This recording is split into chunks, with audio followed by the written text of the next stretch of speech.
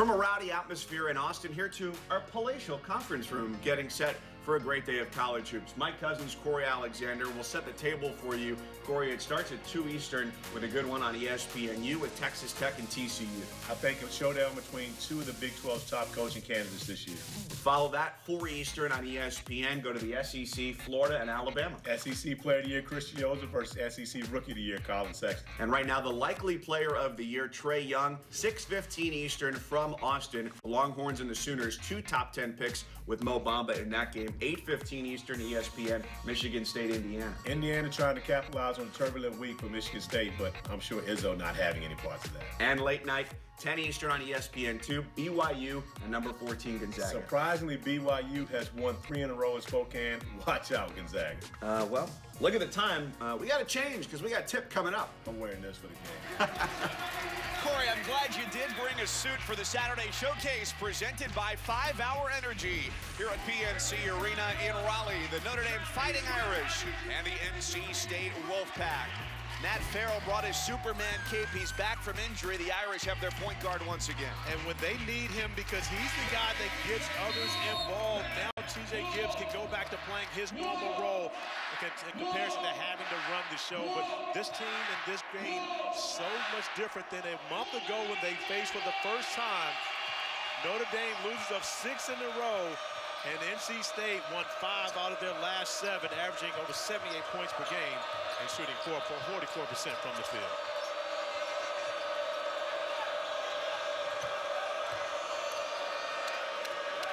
Notre Dame in the blue and the Wolfpack in their home whites.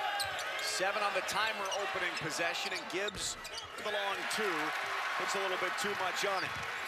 Well, we've reached the revenge portion of the ACC schedule, the second half where teams see each other for a second time. And as you mentioned, the Wolfpack looking for a bit of their own revenge against Notre Dame after a January 3rd meeting that went 88-58 in favor of Notre Dame. And the Wolfpack also had to stick around to hear the, the Fighting Irish faithful celebrate Mike Brey passing Digger Phelps as the all-time leader in wins at Notre Dame history, but that was at in South Bend on their home court, where Yurtseven loves this home court, where he's been dominant in four ACC games. Farrell returning from an injured ankle, and he looked pretty sharp in warm-ups, being locked down by Braxton Beverly right here, looking to feed Geben and has it taken away. Beverly feeds ahead for Johnson, the lob for Torin Dorn. 4-0 pack. And that was a good finish by Torin Dorn, but a great pass by Markell Johnson. And his ability to get his teammates shots has really re-energized the Wolfpack. Pflueger tried to one-hand it and lost it. Now Abu has his pocket pick. Farrell sends it out of bounds. It stays at this end of the floor. Mike Brey 18th season at Notre Dame, 22nd overall, the 58-year-old native of Bethesda, Maryland, trying to re-energize his team and have them avoid their first seven-game losing streak since 2009.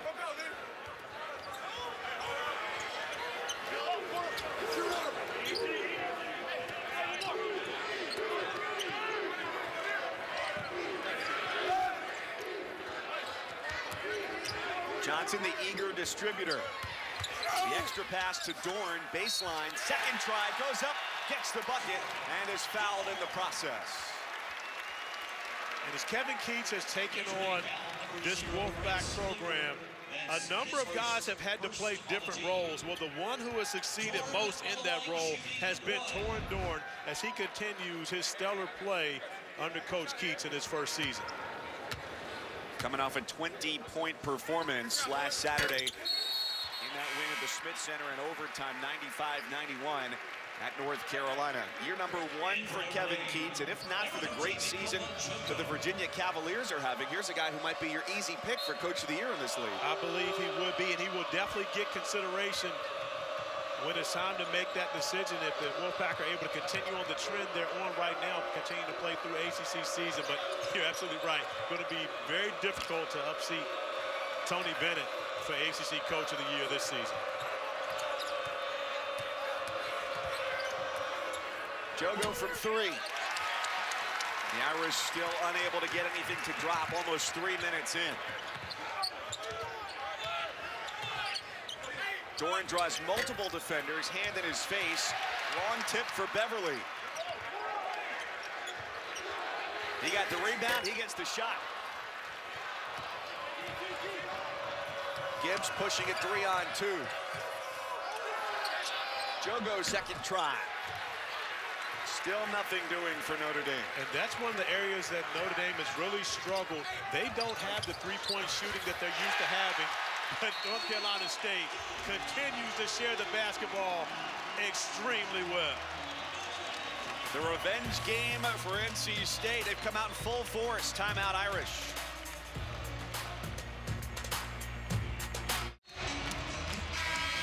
Markell Johnson, the assist man for this team, and that's exactly what they've done here to get things started. Well, when you look at him back in the starting lineup in their last four games, NC State has assisted on 81 of 115 field goals, 70.4%. 108 assists on 199 made field goals in the seven games that Johnson was out. So you see the difference that it has made with Markell Johnson back as the starting point guard for the Wolfpack. An aggressive Gibbs. He doesn't score over the seven-footer Yurtseven. But the follow is there for Austin Torres on the baseline. And the foul goes against Markell Johnson for the pack, his first. And Austin Torres getting to fighting Irish on the board. But the unfortunate part is when he gets to the free throw line, it's normally an adventure. He's just two for nine this year after the miss. And, and, and some of them, and not to pick on the young man, but few of those haven't even drawn iron. I've watched them play, and it's an adventure when he gets to that line. So, but it's good for him to be able to get a bucket for the side of Notre Dame, and then a great defensive play by Torres as well. Well, if you're going to shoot two for nine from the stripe, you got to contribute somewhere else. Well, and, and, that, and that's the way he contributes. He's a hustle guy, energy guy, plays extremely hard. Farrell drew the mismatch there, scooting around Yurtseven. And it's going to be a goaltending call on Yurtseven. Farrell doing a great job getting that up on the glass. Yurtseven blocking the shot, but already after it touched the glass, so going to be another bucket for Notre Dame, who is now responding with a 4-0 run out of the timeout. I'm sure Mike Brey more encouraged to see this type of production from his team.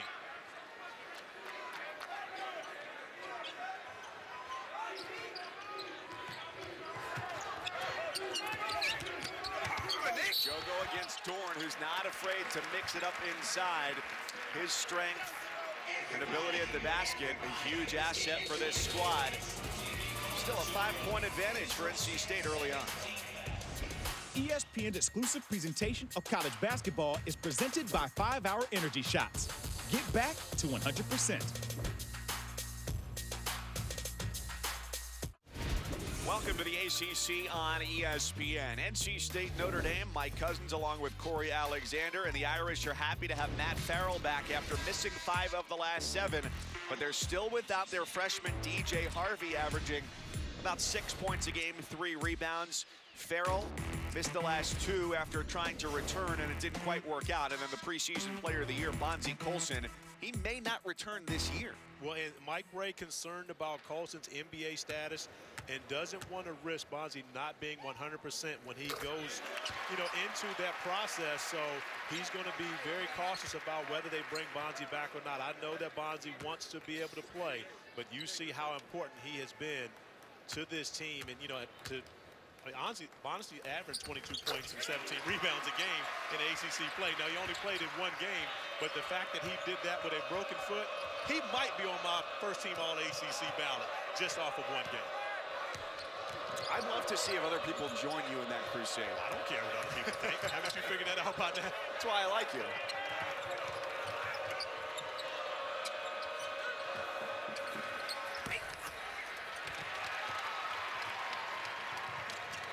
Dorn pushing, goes body to body with Gibbs. Torres, another good rebound. And Djogo for Pflueger looking inside. Second quick drop off at the bucket for Torres. And I'm sure that Mike Brey never imagined when his team got down 9-0, the guy that would get them back into the scoring punch would be Austin Torres. But right now, with the, with the Fighting Irish have been through, Mike Brey will take contributions from anyone he can get them from. Beverly just missed everything there. And you're right, because there have been players, most notably TJ Gibbs, who's been the third leading scorer here for the Irish, but guys who have had to significantly elevate what their roles were going to be, let's say in October or November, come ACC play with the Irish tied for 12th in the league at 3 and 6 in conference. And when you have the injuries that Notre Dame has had, it really redistributes playing time to guys that haven't played in those roles and which has really been the biggest concern for them because they've got guys who would be bench players now having to give them starters minutes. Pack started out three for three from the floor. Since then, just one of their last five have gone through the nylon. Torres stuck under the bucket, and he's called, called for the foul. Usually foul number one, Austin Torres. His first third team foul. Line for the Wolfpack, number two, Torin Dorn. So Dorn back to the line. He's already got seven of first 11 for the Wolfpack. And Torin Dorn plays with so much energy for Kevin Keatts, and that's one of the areas where you have to have to play for Coach Keatts. Because of their defensive pressure style, they like to get up and pressure the basketball, but more importantly, Dorn gives them that rebounder that they need on the back line, especially for a guard that allows them to be able to get out in transition. So Torin Dorn has really embraced the pace of play as to which Kevin Keatts wants to play in the spirit that Coach Keatts brings to the sideline. And this lineup they've got on the floor right now is a very good defensive one as well, especially when you count in LeVar Batts, the freshman from North Carolina. And, and Batts' minutes have been down a bit since the return of Markell Johnson, so I know that's something that Coach Keatts wants to be able to get him on the court more because, just as you said, he may be their best on-ball pressure defender. Seven to shoot. It's Pflueger drives. He misses. And the foul will go against Geben coming over the back. That's a couple times now, whether it's been Farrell or whether it's been uh, Farrell or Pflueger going to the basket. Missed on easy opportunity. And when you don't get easy opportunities that often in this league, so when you get them, you've got to take advantage of them. And, you know, Rex Pflueger, in my opinion, is the guy that really needs to step up his production for Notre Dame. He's a guy that they counted on all season long, but with the injuries, he really needs to be a bigger part of what they do offensively. It just really hasn't been that during the six-game losing streak.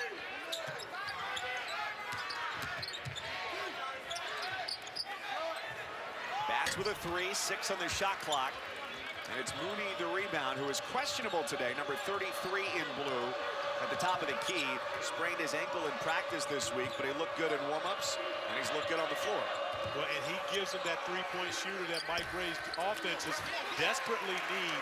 That's the fear that Mike Brey has always put in opponents in the ACC is their ability to shoot the three and spread the floor out to have open driving lanes. Count the basket.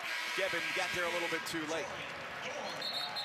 Tonight on ESPN, it's the basketball version of the Red River Rivalry, 6.15 Eastern. You got two top 10 potential lottery picks with Trae Young for the Sooners and Mo Bamba and the Texas Longhorns. And then into the Big Ten at Assembly Hall, number five, Michigan State, a projected two seed as of today by Joe Lunardi, takes on Indiana. You can see both games on the ESPN app.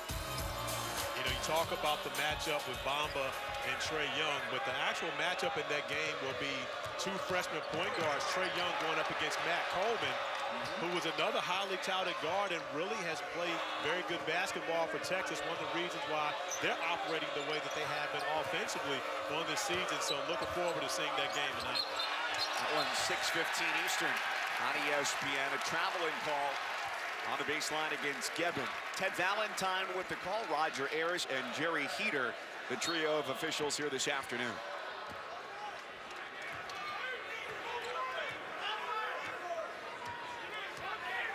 See where the scoring comes from right now for the Wolfpack. Torin Dorn gets a breather. He's got nine of their 13.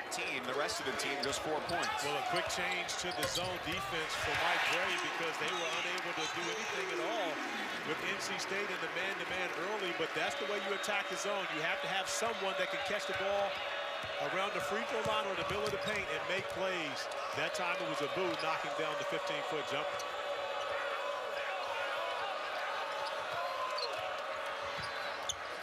Gibbs takes the feed. Nice inside-outside action from Gibbon. And we talked about production without Farrell, without Colson, and without Harvey.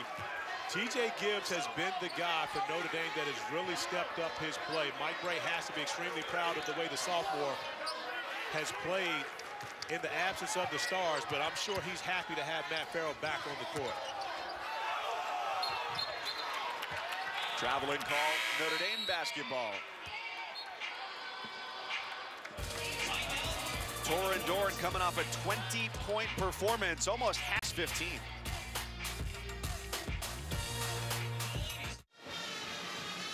Most probably thought it was going to be a rebuilding year for Kevin Keatts and the Wolfpack. Four top 25 wins, including three against the top 10. And the reason it's not a rebuilding year is because Kevin Keatts plays a completely different style, and you can see what the the Wolfpack faithful think about Coach Keatts, the new Coach K, which you know, I think you might like a little more than me. I think if, if, I'm an NC State fan, that's paying a little too much homage to the, I got to say, the real Coach K, the originator of the name, who is, of course, an in-state rival for the Wolfpack. But it's good for the sport all around to have all three teams here in this area be competitive at the same time. It makes the game better, it makes the league better. Well, you know, and the ACC was created with NC State being a dominant team. You talk about the 1973-74 NC State Wolfpack team. Just, I don't believe Notre Dame recognizes the shot clock is going down. Kevin did. He just missed everything, and it's a shot clock violation. You know, but the, the, the, NC State fans started counting it down. If they had never said anything, I don't think Notre Dame would have ever figured it out. That time, they actually helped them. It didn't come up with points, but they helped Notre Dame on that possession.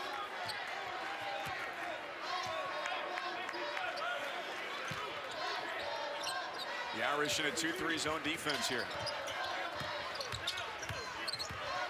Al Freeman with the ball, their leading scorer who comes off the bench. 15-footer off back iron for Yurtseven. Now Pflueger, who had to come out briefly before that last timeout, he's wearing that band around his arm. He had a scrape on the arm, so had to get the blood taken care of there. And back onto the floor as he replaced Djogo. Also see for the first time today, Elijah Burns, the big man on the floor for Notre Dame. Also at number 13, Nicola Djogo. TJ Gibbs going to get a break, and he's actually averaging over 40 minutes per game in ACC play, so he's getting a rare break, but that's one of the luxuries of having Matt Farrell back in the lineup. Gibbs doesn't have to play the entire game, and you wonder how that happens. Of course, overtime games allows you to get the extra five minutes. He and Tyus Battle both averaging over 40 points, 40 minutes a game in ACC play.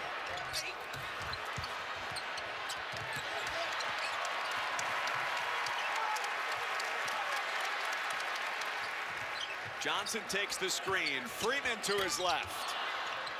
Beverly follows it up off the glass for two. Scoring off of offensive rebounds, the best time to take a shot. It's almost like having a free possession.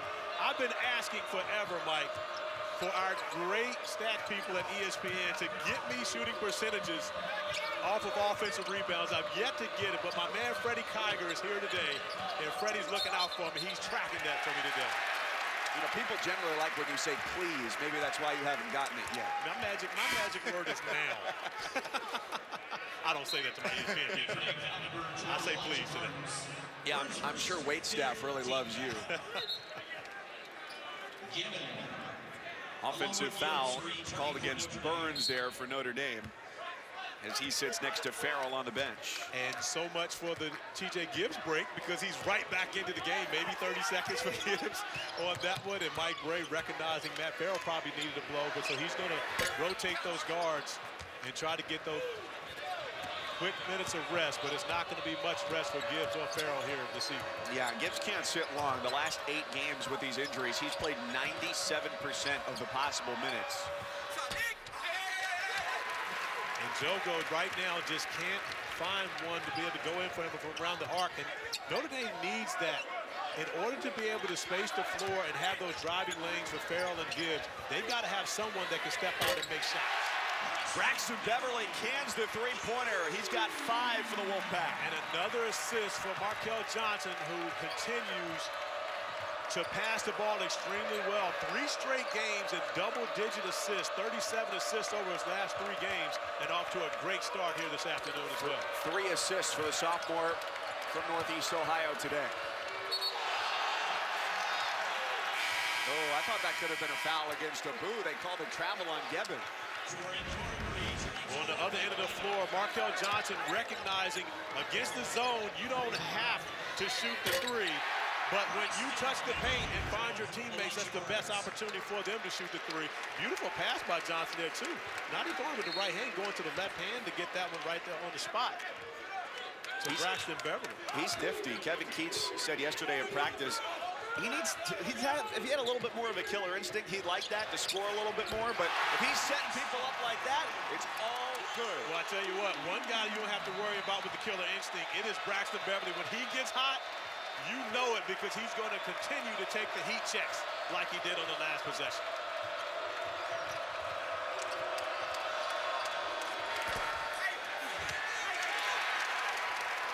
The Irish one for eight from three.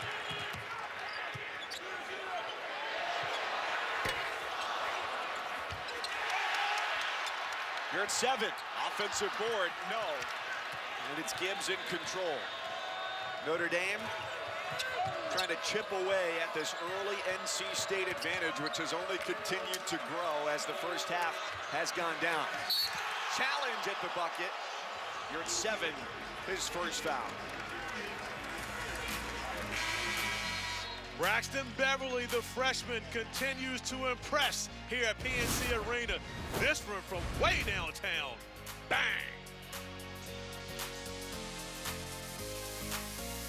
West Virginia, Oklahoma, Monday at 9 on ESPN. That's our next Sonic Blockbuster, Monday, 9 Eastern, ESPN. Number 15, West Virginia, which takes on K-State today against Trae Young and number 12, Oklahoma. I love this stat on Twitter this morning, courtesy of our colleague Dan Shulman. Trae Young is averaging more points in the second halves of Big 12 games, 21 points in the second half, than any other player is averaging overall in Big 12 games. Well, and, and of course, that's an amazing stat when you look at it, but you also have to take into consideration that Trae Young in Big 12 play has had a number of second halves where he's had to bail his team out. And he also has a game where he took 39 shots. So when you think about that, that can get you more points than anyone else because I don't think there's anyone else in the Big 12 that's even attempted close to 39 shots in a game. Yurtseven. Leaves it off front iron. Braxton Beverly has scored the last eight for NC State to help them open up a 13-point lead that holds in 13 with Gibbs missing the three. Notre Dame one for nine now from beyond the arc.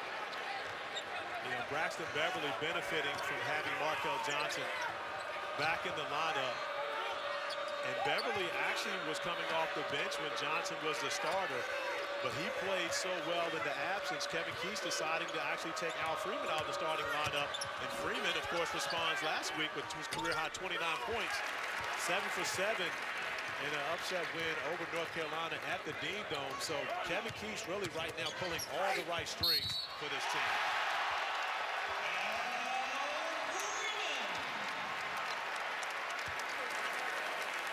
Mentioned the reigning ACC Player of the Week, Al Freeman, who did his damage beyond the arc in Chapel Hill, but this time taking it to the rack, able to finish through the contact.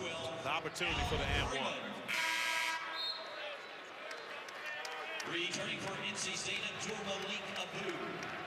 Also in Freeman, the grad transfer from Baylor, a two-year starter there, only averaged nine points a game over his career there, and now the leading scorer here at 15 points a game. Not only is he good at ping pong, though, yesterday after practice, he sat down in the players' lounge and got it going on FIFA, too. I, would take that. That is a video game. when you Yes, say FIFA. soccer, you may be familiar. It does involve a ball. Heard of it. Heard of it before. Not good at it. Notre Dame going on almost six minutes of game action since their last made basket. And Mike, you mentioned that you you know it's almost surprising to you that with Matt Farrell being back in the lineup, Notre Dame has turned the basketball over the way that they have. But you see another turnover as Beverly's able to come up with one. Farrell does a great job getting back. But Matt Farrell hasn't played in the past two games, and there's a rust and timing factor. As we see another turnover by Notre Dame that is coming to play with Farrell in his absence. His turnover leads directly to two points and a timeout from Mike Brey.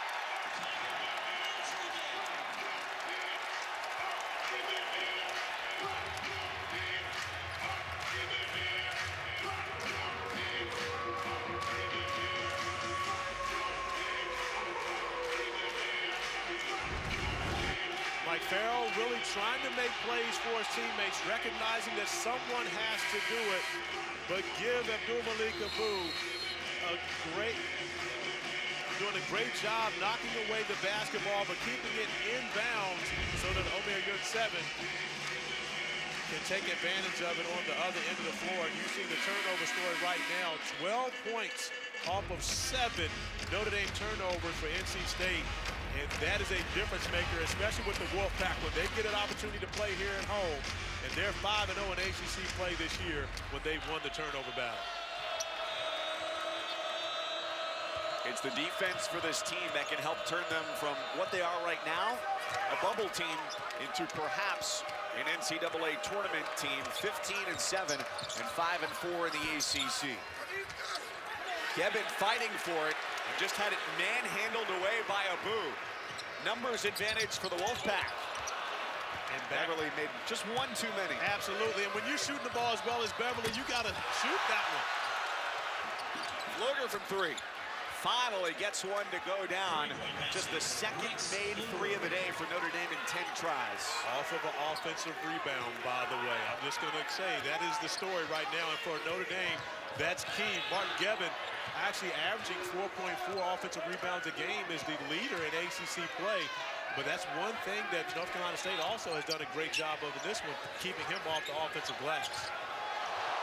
He did a fine job showing defensively, but Freeman gets it to go anyway. Five for Freeman, and it's 30 to 13 NC State. And we've talked about NC State sharing the basketball and assisting on made field goals.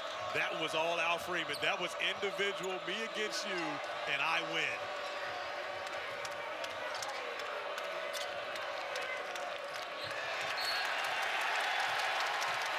Pflueger touched it last. Sharing the basketball is great, but Mike, every now and then, you got to take your time to dance. Al Freeman dancing at the top of the key. A number of nice moves to create some space and knock down the mid-range jumper. Also, we have number one, Rex Pflueger. Returning for NC State, Markell Johnson. Freeman and the pack have done a great job turning over Notre Dame so far. Eight turnovers by Notre Dame, a team that only averages 10 on the year. They don't foul much, they don't turn it over much, but it's been a different story here in the first half. You know, but you know, when you don't have a guy like Bonzie Colson on the floor, who is not only a double-double machine, but a 20 and 10 machine, it takes away a lot from your offense, and that has been the struggle for the Fighting Irish, is being able to put points on the board. They have shot under 40% field goals in their last seven games. They've dropped toward the bottom of the league. They're 14th in field goal percentage at 38% and 11th out of 15 teams in scoring. And this is from one of the, the best offensive coaches right. in college basketball, Mike Brey. But at the end of the day, Mike Brey's not out there making plays. You've got to have someone making shots. And it's just been a struggle for the Fighting Irish thus far. First matchup was a 30-point Notre Dame win. NC State surely hasn't forgotten. Big lead for the Pack.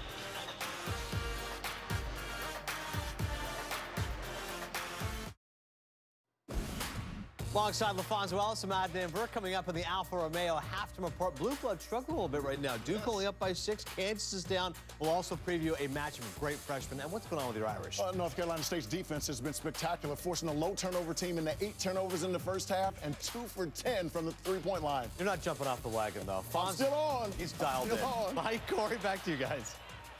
All right, thanks, guys. And the story has been a couple of big runs in the early going. 9-0 to open the game, and then Braxton Beverly scored eight of his own in a row. And I, I, I played against Fonz when he was playing for the Irish. They could use him out there right now because they need some scoring as they try to get a goaltending on the last possession.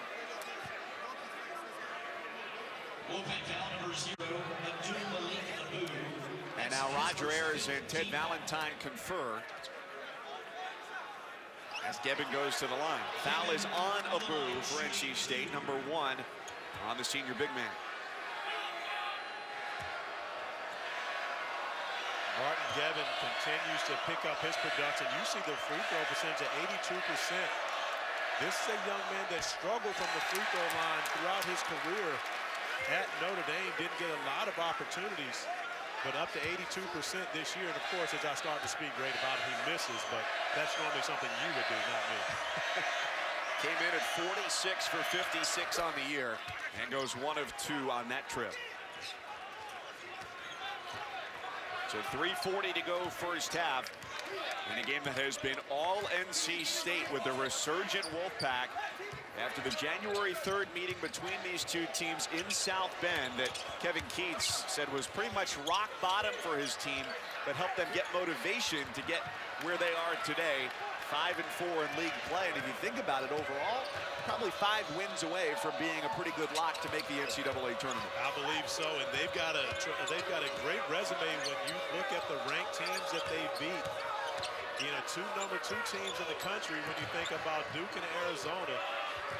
And then they continue to play great basketball. But going on the road at North Carolina, getting a win, in my opinion, for Coach Keatts, probably had to be the most satisfying when you consider that in his first season, he's been able to beat Duke at home and go to Chapel Hill and win there. That is a phenomenal first season for Coach Keatts. Corner three for Torin Dorn. 33-16. The biggest knock against the Wolfpack right now, the non-conference strength of schedule. Pflueger falls, doesn't get the call. Johnson pushes, underhand feed for Dorn, and they're making it look easy, trying to run Notre Dame out of the gym. You know, and we talked about Matt Farrell coming back in and showing rust. Well, now Markell Johnson has about five or six games under his belt, back playing since his suspension, and he is playing great basketball, and the team is being being able to respond with that six assists already for Johnson, and that is leading to great offensive play. Freeman, pull up three, might have blown the roof off the building. It's a little chilly here. We need to keep the roof on. I mean, at the, at the end of the day, I can respect them being excited, but we need to keep the roof on this building.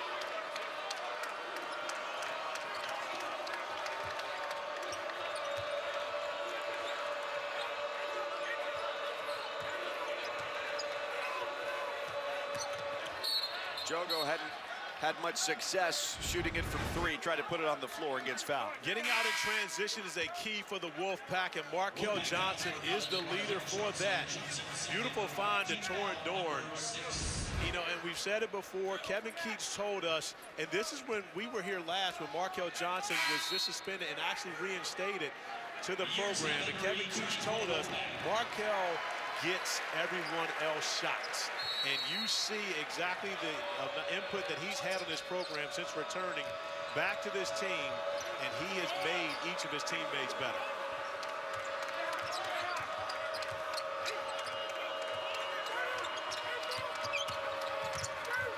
No open windows for Farrell. Burns doesn't fare much better. And the three drops for Farrell in his return after missing five of the last seven games. And that's a much-needed bucket and confidence builder for Matt Farrell there, just to be able to see it go through from beyond the arc and maybe settles him down a little bit and gets him back into a rhythm. His three-point shooting dearly missed. He makes, on average, just fewer than three triples a game, and that's most in league play.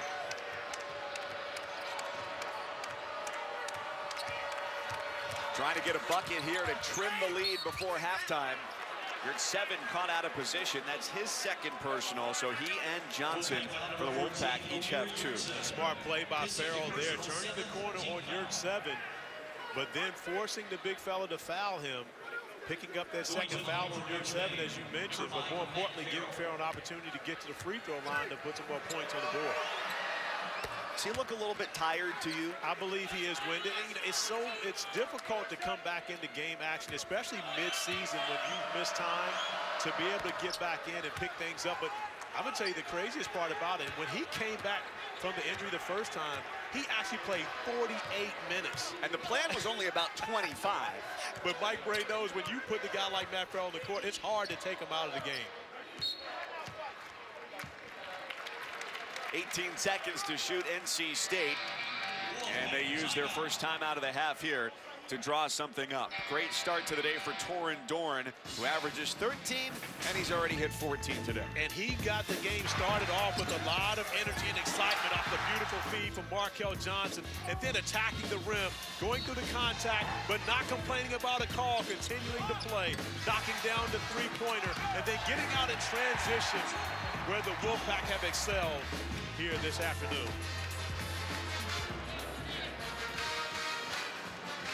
On tonight in Cleveland, it's our NBA Saturday primetime matchup on ABC. James Harden, Chris Paul, and the Rockets take on LeBron and the Cavs, trying to figure out life without Kevin Love for a couple months with his broken hand.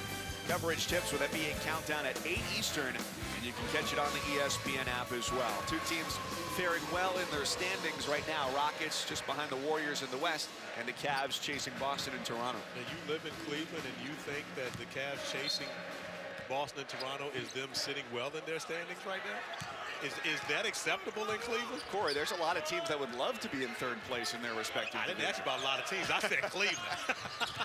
Relatively as of late, no, they'd say, hey, we should be doing better.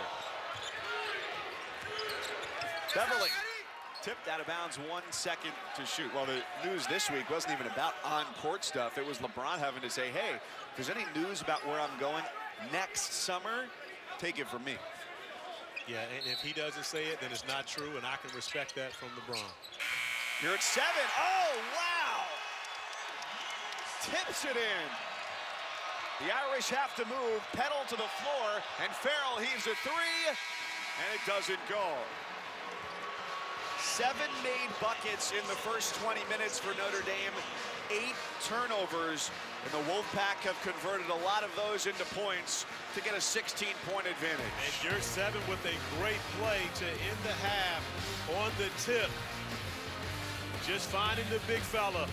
Allow him to tip it in and using this soft touch for the pack. Alfa Romeo halftime after these messages.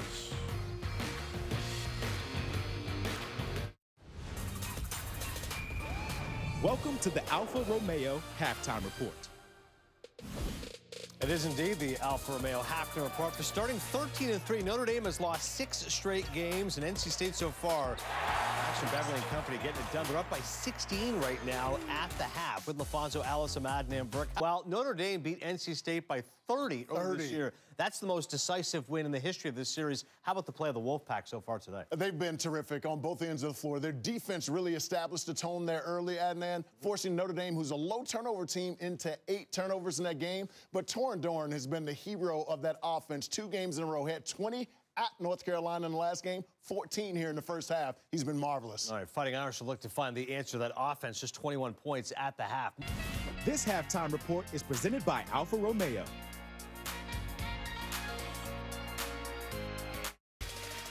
Welcome back to the Saturday Showcase presented by 5 Hour Energy, a full house here at PNC Arena in Raleigh, North Carolina. NC State with a 16-point advantage over Notre Dame, 37-21. Glad you're spending part of your Saturday with us. Mike Couzens, Cory Alexander. It's the revenge game here for the Wolfpack. They lost by 30 last month to Notre Dame, and NC State has looked better in every way today. Well, there was one player that did not play in that game for NC State, and is you go by M. Johnson. We're not going to call him Magic, but he's playing a lot like Magic here this afternoon. Six assists already for Markell Johnson in his meaningful return.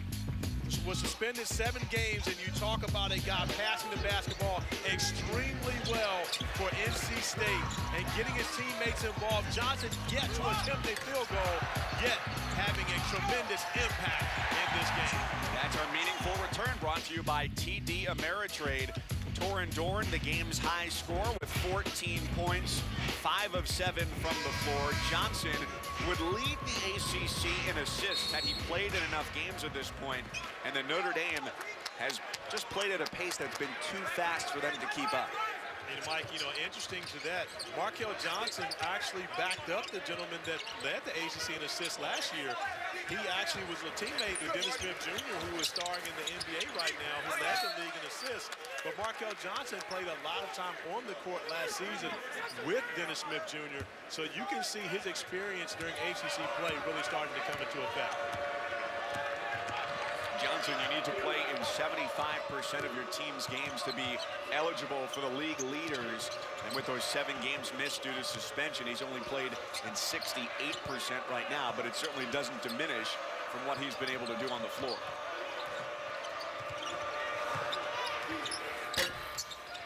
Farrell a little tricky, tries the three, and there have been very few easy looks for Notre Dame, which is now 3 of 14 from three. You know, but the thing about the easy looks for Notre Dame, the ones they've gotten, they haven't taken advantage of. We saw two to three missed layups uh, right around the basket for Notre Dame in the first half. But we also seen a lot of Yurtseven continue to play very well on his home court. 8.6 rebounds for the sophomore native of Turkey.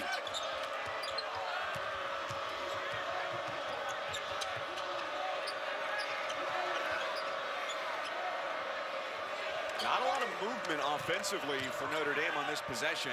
Seven to shoot. Geben gets to the rim. And he's had the best offensive day probably of anybody so far. Well, and Geben really stepping up his production, averaging close to a double-double in ACC play, just a couple tenths of a rebound off from averaging 12 and 10 a game in ACC play and actually had a 22-point, 17-rebound explosion versus Louisville. 11 offensive rebounds in that game, but that's the one area where NC State has really been able to keep Geben off track. You see another turnover for Notre Dame. Ninth of the afternoon by the Irish. You know, and that's just a byproduct of having guys in positions that they're not used to playing. Austin Torres rarely is at the top of the key handling the ball in Mike Brey's offense. But because of injuries, you have to put guys in positions they haven't been in before. And that's an uncomfortable position for Torres, who turns it over. But Geben stealing another possession away, doing a great job getting in position to take the offensive foul. Charge called on Abu, who's seen some meaningful minutes in this game so far in the first half for a guy who hasn't played more than 20 minutes in any of the nine ACC games prior to this one. You know, one of the things we haven't seen Mike much from NC State in this one, they haven't really had to pick up the pressure against Notre Dame. So Notre Dame's had been able to do an easy job getting across the half court. But they continue to turn it over, which turns into points on the other end of the floor for the Wolfpack. Seventh assist for Johnson.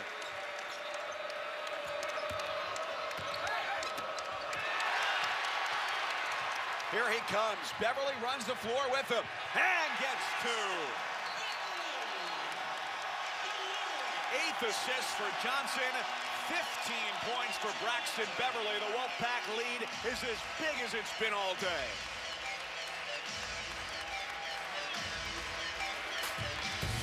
Markell Johnson getting it done. Both ends of the floor. Defense turning it into the office. The Wolfpack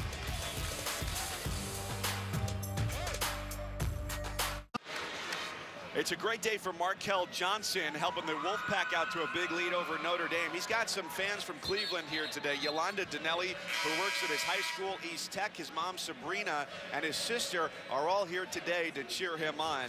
He had a big contingent when they went to go play at Pittsburgh. They had his high school basketball team and a total of about 35 people went to go see him play. The trip from Cleveland, not all too far to go to Pittsburgh to watch him play, and he's enjoyed great support wherever he's gone this year. And that was another one of his double-digit assist games. Right now, Markell Johnson putting up, dare I say, Chris Corchiani-like numbers. and if you didn't know, that would be fire of the notorious Fire and Ice combo from the late 80s into the early 90s. 46-26 after a much-needed three-pointer for Notre Dame.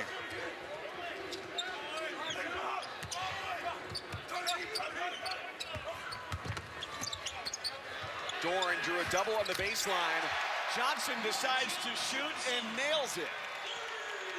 I wanted to see him go the entire game, no shots, and get 20 assists. But if you're going to shoot, you might as well make it. Markell Johnson getting it done in every aspect of the game now. First shot attempt of the day is good, so he's got three points to go along with nine assists.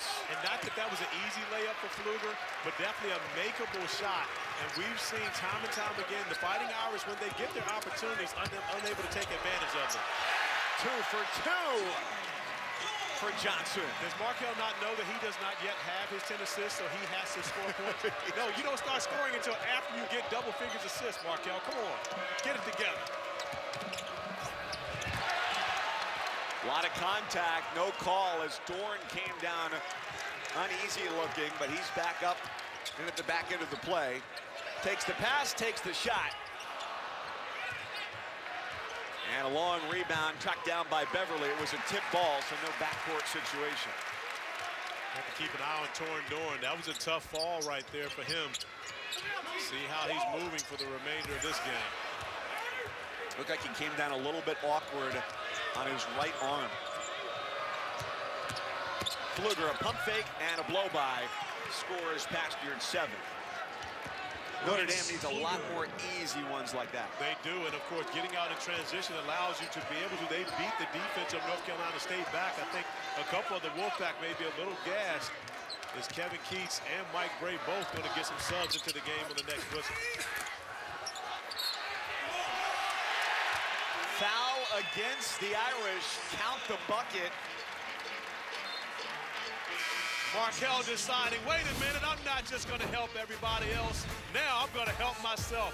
Three ball, corner pocket, and then the beautiful drive as he's driving the back.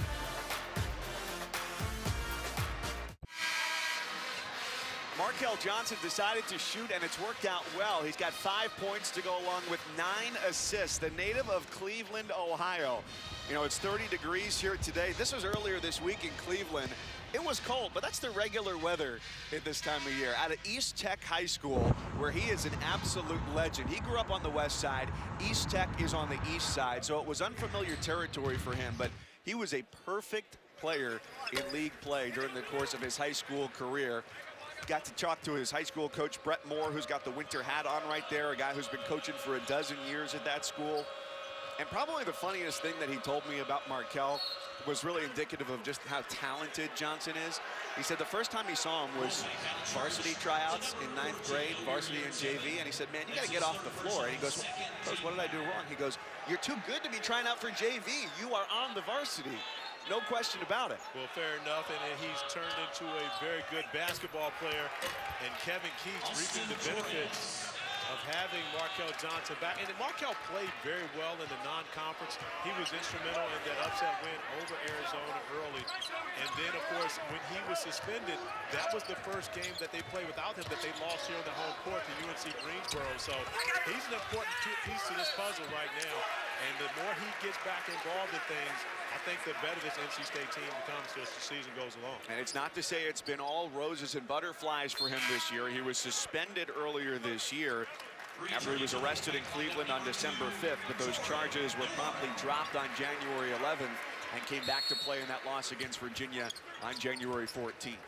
Roses and butterflies, huh? Is that what it hasn't been? All Gen- roses and butterflies? generally, those are good things for everyone involved. Okay, if you, if you say so.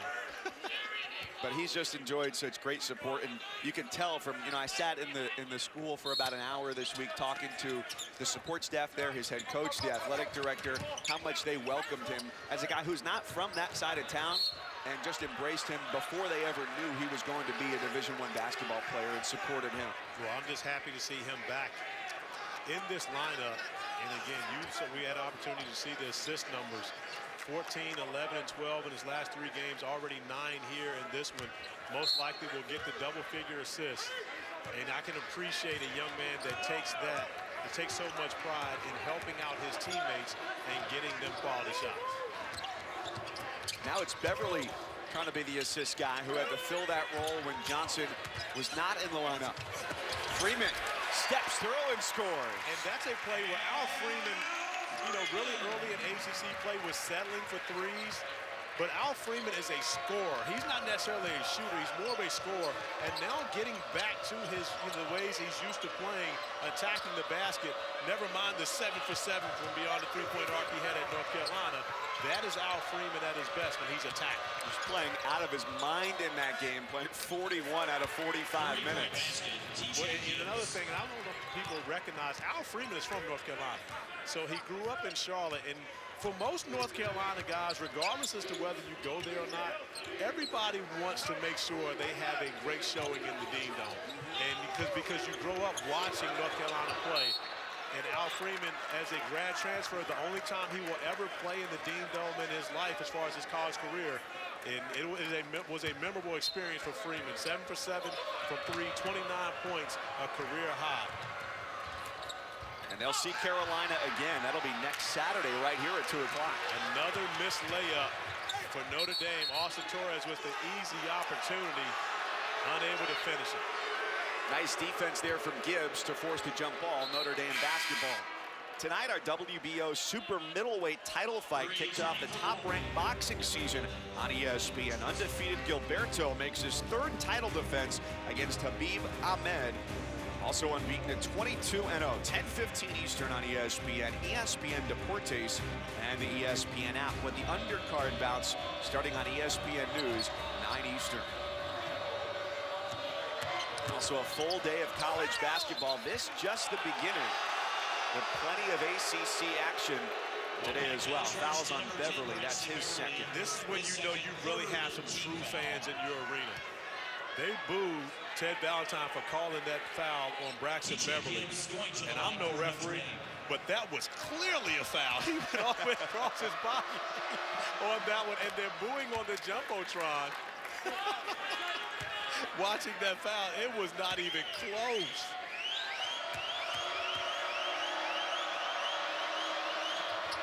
Now, there's no question about the passion here. A sellout crowd today for a noon tip-off. And coming your way next here on ESPN, more ACC hoops as Miami visits Virginia Tech at Cassell Coliseum. And this has always been one of the most passionate fan bases in ACC basketball. Talked earlier about the 73 and 74 teams that featured David, David Thompson. And they love basketball here in the Triangle, but the NC State fans are just as passionate or more passionate than any throughout the country. Farrell eyes up and a great feed for Torres. You know, and right now for Notre Dame, being down big, they're down 21 at this point. For Mike Brey, it's now about let's start finding some things that work for us and getting game action. Whether they can come back from this or not is uncertain, but yet they can still do some positive things that, that help them as they continue to play in ACC play. There's a lot of basketball left for the Fighting Irish, and they've got to get back to being the same type of offensive team that they were in the past, even though there's no Bonzie Colson in the mix. Foul on Geben, trying to go body for body with the big Lennard Freeman. 58-37 pack. Alongside LaPhonso Ellis and Adnan Virk, Oklahoma State giving Kansas all they can handle, but Malik Newman here for three. After an 0 for 4 first half, he's a perfect 3 for 3 here in the second half, and they've needed that shot on the offensive end. So Kansas down by seven at home. How about St. John's leading Duke right now? Wow! 42-41, Marvin Bagley does have 13. Back to Mike and Cory. That's surprising as those two teams played in the Garden a couple years ago for Coach K's 1,000th win, but especially because St. John's has lost 11 straight since the start of Big East play. Youthful inexperience for Duke has hindered them really since they got off of that tour in November. And oftentimes in November when they were playing such great competition, they got behind early in games and were able to find their way back in. The key to the Blue Devils, we talk about Marvin Bagley. He may be the best player in college basketball. I understand what Trae Young is doing, but Bagley may be the best player in college basketball. The key for the Blue Devils, Grayson Allen. If they do not get production from Grayson Allen, they are not a very good team. Mike Brey is trying to figure out what's happened to his normally very good team today.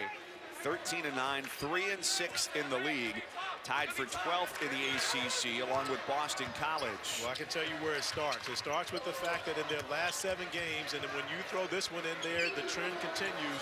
They have not been able to shoot over 40% from the field. One month ago, January 3rd, when they played NC State at home, they shot 52% from the field and played great basketball. That was without Bonzie Colson. Matt Farrell was injured in the first half of that game, but they had TJ Gibbs, Rex Pflueger, so many different guys. DJ Harvey was able to step it up. And since then, they have not had an over 40% field goal shooting game. Dorn had to go with the shot clock winding down. Foul called against Notre Dame. That's on Gibbs. His first backcourt today for the Wolfpack has been spectacular between Dorn, Beverly, and Johnson, who started scoring in the second half. 37 points with Dorn, 17 of those at the line here. Well, I'm okay with Markell starting to score now. He's got his 10 assists, so now he can start putting points. Double-double watches on. Yeah, but again, well, I'm more so concerned about the consecutive streak of a double-figure assist game. That, that's that's most important. Now he can go get a double-double. That's all fine and dandy. But I like him. I like being able to talk about Markell Johnson in the same breath that I'm talking about Chris Corchiani, who was one of my favorite point guards all time to be able to watch for the Wolfpack. Well, now Markell finds himself in similar company in the record books as far as elite assist men go because he's the first Wolfpack player to have four straight games with at least 10 assists.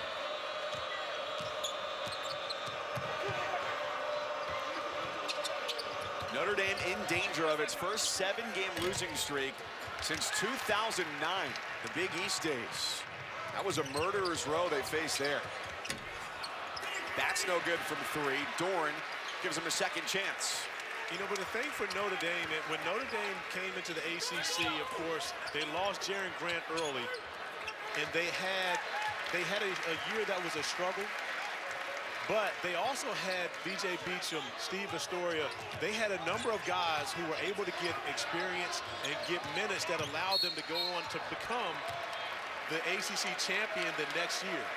Well, what I want to see from, from Mike Brey's team right now, not necessarily from Mike Brey, but his roster, some of those guys have to step up and start getting that valuable experience right now and showing that they can get it done at this level. So therefore, if it's not this season, and we don't know what the future holds for Bonzie Colson if he's able to come back and be able to play at the end of this year. But for Notre Dame moving forward, Djogo, you know, Pflueger, these are guys that are going to be counted on next year that Mike Brey needs to see some production from now. Djogo, just a redshirt freshman out of Canada, and Pflueger has one more year left. So I don't want to misinterpret what you were saying, but if Notre Dame loses today, they're three and seven in the league. You're, you're effectively counting them out of the tournament. I'm, I'm going to be counting them most likely out of the NCAA tournament yes. because you consider that Bonzie Colson may or may not return, but if he does return, it would be you know closer to the last game of the regular season, possibly in the ACC tournament. You know, but that is the only saving grace for this team to even have a shot at getting into the NCAA tournament, in my opinion, is that they're able to go and win the ACC tournament at this point. You know, but again, even if they play in the NIT and have postseason opportunities, it's about getting these guys more minutes and more opportunities. Geben called for the foul. That's his third. So he and Torres both with three for Notre Dame in the absence of Bonzie Colson, who has gone away from his usual flashy Hawaiian shirt today. The sneaker game is still there, even with the boot. But the shirt was a little disappointing for his usual standard. Yeah, he showed off on the feet today. He, he, he brought out some different heat on the feet today in comparison to going up top with the shirt. But, you know, we've been used to seeing Bonzie making a, making a statement with his shirts throughout this stretch that he hasn't been able to put on a jersey. The medium Hawaiian shirt stays packed in the closet today. Easy slip and a score for Freeman. And the one thing we will see Bonzie on senior night, Mike Brey has said that he will dress and he will start that game. Now, he probably won't run up and down the floor, so Mike Brey will be calling a timeout early to get him out, but it will be great for the Irish fans really to be able to see him back on the court, especially for how much he has meant to the program. Elijah Burns in for Notre Dame. Crowd here right now is reacting to a replay on the video board of that ball going out of bounds. I love it. They're up 29, and they want that basketball back. Every possession matters. And don't think for one second that these fans don't remember the 30 piece that Notre Dame put on the Wolfpack in South Bend a month ago. And they want their revenge here. These fans up 29, still cheering hard for every point in this game.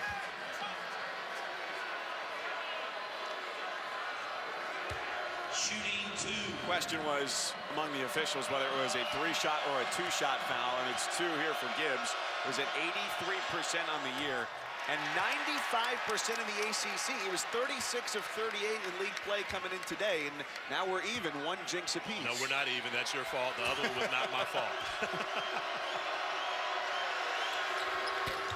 You're such a good friend, Cory. Hey, again, I, you know, great, the best friends are honest.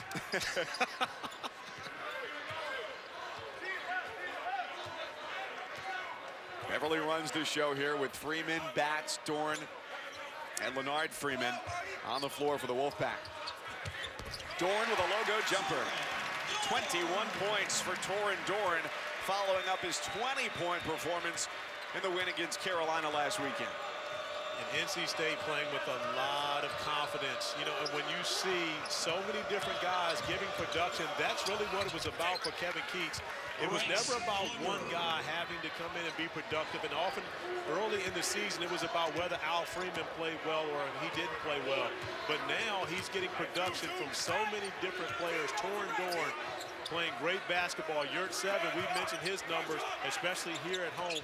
Beverly playing well, but then when you add Markell Johnson back into the mix and the way he's running the show for this team, I believe that gives everyone on this roster more confidence.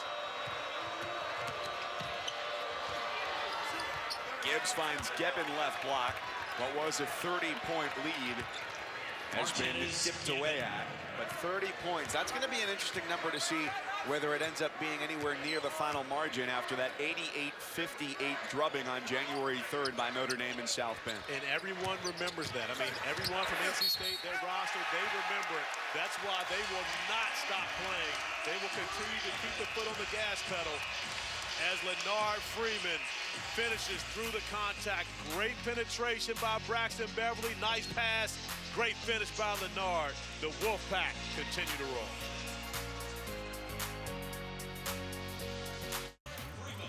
Chris Lykes is starting now. I'm really excited about Chris Lykes playing more minutes. You should be excited about that. Everyone should be excited about Chris Lykes getting more minutes. One of the most fun players to watch in the ACC and looking at the ACC.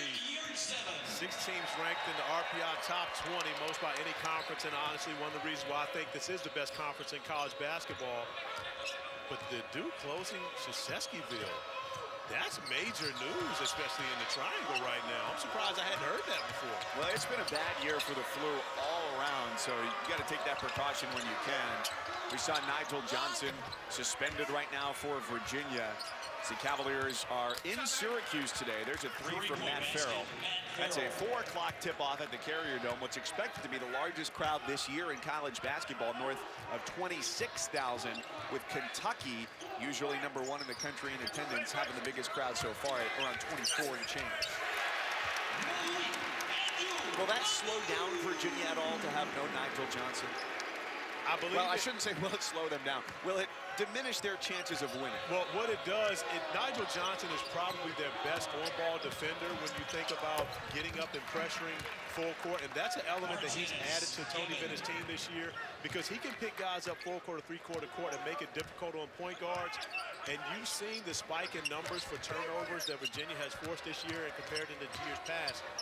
But Marco Anthony did a great job stepping in and filling his shoes in their win over Louisville on Wednesday. So I believe Tony Bennett will have his team more than well prepared when they go into the Carrier Dome. Abdul Malik Abu up to eight points now. Crowd very enthusiastic whenever he puts it through the rim. Devin goes left hand and loses the matchup with seven. Freeman Freeman's got eyes for a bucket here. Instead, he turns it over into the gut of Pflueger. For Farrell on the wing, hunting a three-pointer, and with good reason, as he makes it fall. And the lead is now 25 for the Wolfpack. You know, Mike, that's just a small sample size, so that's one possession. But one of the things that Kevin Keatts has talked to us about is not making hero plays. That last possession down the floor, Al Freeman, Al Freeman brought the ball down the court, and no one else touched it. And another possession where Freeman, trying to make a play on his own, ends up with a turnover. Offensive foul on Freeman. Later tonight, ESPN got a great matchup. A couple of future pros in that one. Oklahoma led by Trae Young and Mo Bamba for Texas. And then a Big Ten matchup at Assembly Hall. Number five, Michigan State, a projected two seed by Joe Lunardi, takes on Indiana with both games available on the ESPN app. And Trae Young, the stellar freshman, leading college basketball in both, both points and assists. I shared this earlier, but the number that really jumps out to me was that he averages 21 points in the second halves of Big 12 games, which is more than anybody else scores overall in league play.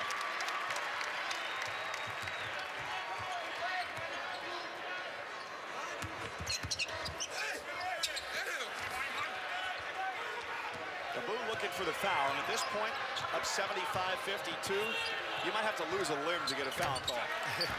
well, Matt Farrell now knocking down back-to-back three-pointers. And again, it's not about whether you can get back and win this game. It's about finding something positive to build on going into your next game. And for Mike Brey, he would just love to see Matt Farrell, Matt Farrell shake off the rust and continue to get better.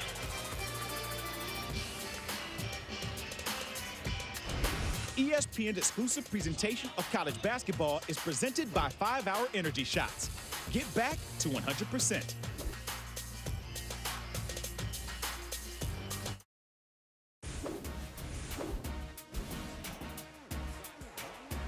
Adnan Virk alongside LaPhonso Ellis. Here's Bashir Ahmed for three as St. John's all over Duke 58 to 50 right now. Duke's defense troubling. Also Oklahoma State leading Kansas 70 to 61 as the Jayhawks could have their third loss at the Phog this year. And Justin Robinson and Virginia Tech facing Miami. That game will be coming up next. Mike, Cory, back to you guys.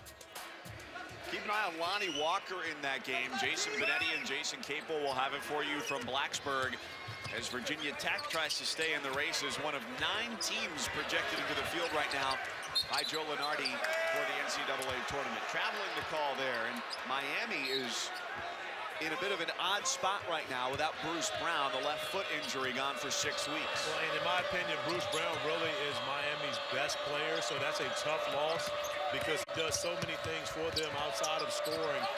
Their leading assist guy and one of their best rebounders, if not their best rebounder. So a tough loss for Miami, but Jim Larrañaga having a lot of guard talent to be able to lean on. Markell Johnson has thrown some strange passes today, but they've pretty much all worked out. He's Got both hands, that time over the shoulder. It's strange to you. As long as his teammates catch them, they're not strange because they're expecting them. See, that's the difference. Only, only strange to you. You know, I didn't get to comment on the the video production of the tour through Cleveland, Ohio that I was able to go through in this telecast today. But shout, shout out to my man, Cuzzo, my cousins, behind the camera, shooting his own scenics, doing it all. Crowd wanted the charge on Geben. They don't get it. It is a 20-point game with three minutes to go. I will admit to perhaps having violated vehicle and traffic laws in the state of Ohio. There was no question about that. I just snitched on you on national TV. You definitely did that. I hope the statute of limitations is less than three days. Otherwise, I may be in trouble. Five to shoot here for Johnson. He gives up the open look. The Wolfpack are guilty, but of being too generous with each other on that possession. Later tonight, speaking of Cleveland, showdown between Harden and LeBron, an MVP statement game. We'll see what Trae Young can do against Texas's defense, and then the winner of this year's NFL MVP, and who's headed to Canton in the Pro Football Hall of Fame at SportsCenter tonight after boxing, also on the ESPN app. James Harden been the bridesmaid, never the bride. On two separate occasions in the MVP race, losing one to Steph Curry. Sorry, I was distracted by Omer Yurtseven. As you should have been. Spiking that shot into the ground by Rex Pflueger. Yurtseven having no parts of Pflueger. Getting his offense going. Defending the rim. Wow. And a great round of applause there to follow up on the block with Markell Johnson going to the bench for the rest of the day. Finishes five points, 10 assists, becoming the first NC State player to have four straight games with at least 10 assists. No block this time. The foul's on Abu, his third. And I would look to Kevin Keatts getting pretty much everyone out of the game right now as the fans start to call out who they want in the game right now, but I would expect to see Yurtseven exit here relatively soon. In a game that's at hand, you don't want to risk an injury to someone that important.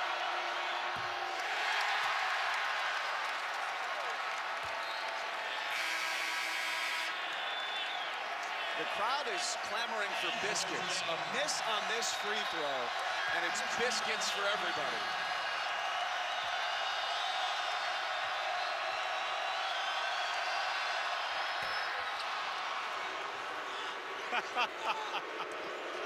I've never seen that.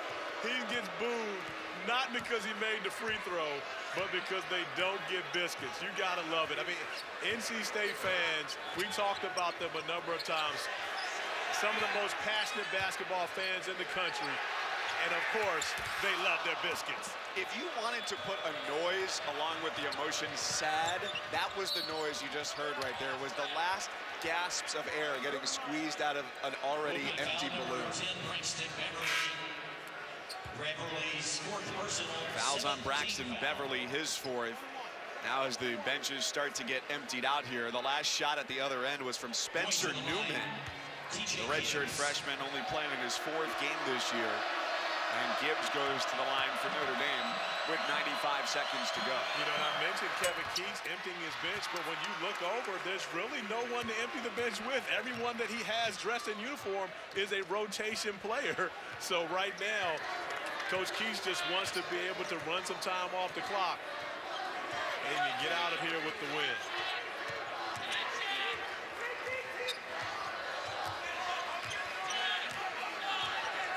This is a statement victory for NC State trying to bolster its resume with any wins it can get. Now that we're in the back half of ACC play for Kevin Keatts, they'll go to 16 and 7, 6 and 4 in the ACC. Meanwhile, Notre Dame is in somewhat uncharted territory. They'll be 13 and 10, 3 and 7, and have their first seven-game losing streak since 2009. That was a tough stretch for them there in the Big East. Out of the seven teams they played, six of them were in the top 20 at that time. And, and an even tougher stretch when you consider that you don't have your best player. You've missed your second best player, Matt Farrell, for a tremendous amount of time. You're missing DJ Harvey, your only freshman on the roster, who in Colson's first absence came out and scored 17 points. So Mike Brey having to deal with a number of things that not sure he's even seen in his many years as a head coach. Liam Nelligan channeling Yurtseven with the rejection on bats.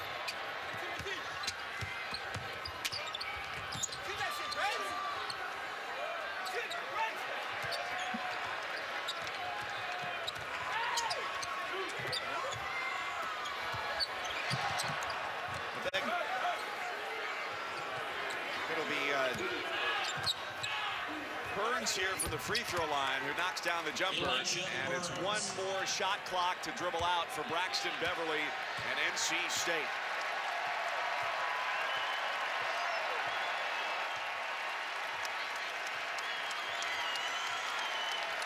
Give the fans credit. They have been a large part of the success that the Wolfpack have had in a number of big games here at PNC Arena. And they were also a great six man here tonight. They may have four top 25 wins this year, but this one ranks just as high in a revenge game win after losing by 30 earlier this year against Notre Dame. It's a statement victory for the Wolfpack, who improved to 6 and 4 in the ACC. And another statement is they can handle prosperity. After beating Duke at home, they came back and beat Clemson. Now, after beating North Carolina on the road, they come home, take care of business against Notre Dame. Kevin Keatts' team is maturing on the fly. They've got the NCAA tournament in their sights. We thank you for being with us, but don't go anywhere. A great day of college basketball continues across all ESPN networks. Next here on ESPN, we stay in the ACC, Miami and Virginia Tech. 76-58 the final. So for our production crew, led by Matt Bartley, my partner Cory Alexander, I'm Mike Couzens saying thanks for watching. We say so long from Raleigh. Before we go to Virginia Tech, we send it back to the studio with Fonz and Adnan. What do you make of the ACC overall right now in general? How strong is this conference? This is very strong and it's very deep because two teams that I didn't really see kind of being in that upper echelon early have mm-hmm. made moves, including Clemson early. Yep. And now we're seeing a very game North Carolina State team. Remember, they're just coming off of a big win against North Carolina. They could have come out flat today, but they didn't. They came out and really pressed Notre Dame from the very beginning, forcing Notre Dame into eight turnovers in that first half, holding a decent three point shooting Notre Dame team to two of 10. And so what happens is, Adnan, when you have a response like that from a team with a new coach and they can come out and focused after they've had a big win, that mm-hmm. says a lot about this Wolfpack team. I've been really impressed with them. And the Irish losing seven straight, obviously really missing the presence of Bonzie Colson. Why don't you rub that in? I was going to say say that again? I don't want to say it for the first time in nine years, Bonzie.